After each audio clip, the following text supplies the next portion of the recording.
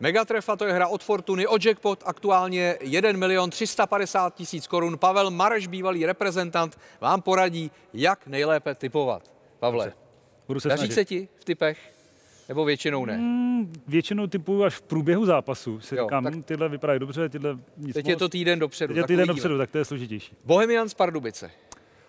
Uh, Bohemian z Pardubice, jo. Bohemka je teďka trošičku rozložená díky koronaviru.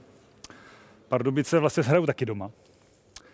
Takže to bude pro ně složitější zápas, tím víc, že teďka vyhráli v poslední minutě, nebo remizovali v poslední, dali gola v poslední minutě, tak si myslím, že, že Bohemka bude, bude tě- být těžký zápas, ale doufám, že, že urvou aspoň bod, takže si myslím, že to typu 1-1. 1-1. Remíza. Eh, Sleské derby, Opava, Ostrava.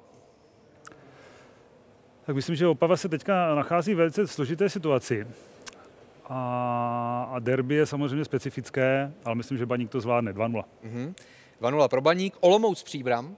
Olomouc rozjela sezonu výborně. Mm, je vidět, že, že vlastně Olomouc teďka šlape, hrajou velice dobře, hrajou vlastně skoro o čelo tabulky. Mhm.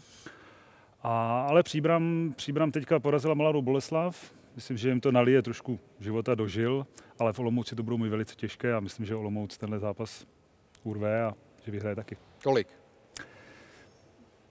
3-1. 3-1. Zlín Jablonec.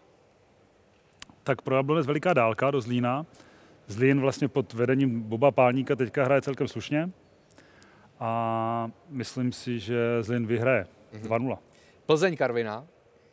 Plzeň Karviná, jednoznačný zápas, Plzeň musí vyhrát, dají do toho všechno a, a vyhraje 3-0. Eh, Brno České Budějovice. Brno remizovalo se Brno Sláví. remizovalo se České Sláví. Budějovice remizovali. Ale. České Budějovice teďka hrajou velice, velice slušně a viděl bych to na remízu. Mhm. 1-1. Boleslav Teplice.